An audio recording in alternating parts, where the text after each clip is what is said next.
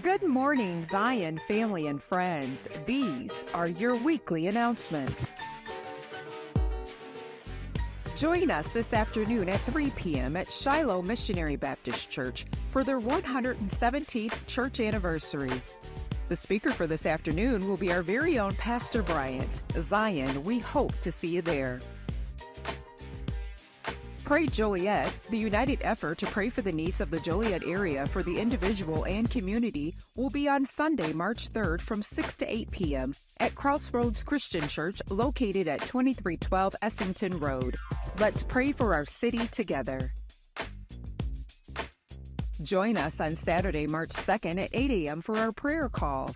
Dial 978 990 5000 and enter the access code 700436 pound.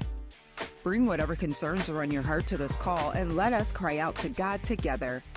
Please remember to mute yourself at the start of this call by pressing star 6 on a cell phone and star 66 on a landline phone.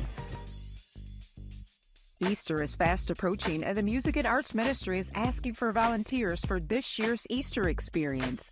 If interested, contact the church office or email media at mountzionjoliet.org. In preparation for this year's Easter experience, the praise team will rehearse on Monday, February 26th at 7 p.m. The Voices of Zion will rehearse on Tuesday, February 27th at 7 p.m. Children's choir rehearsal will be Saturday, March 2nd at 11 a.m., and the men's choir will rehearse at 1 p.m. Those will conclude the announcements. Thank you for your attention, and remember, Zion loves you, and there's nothing you can do about it. Have a blessed week.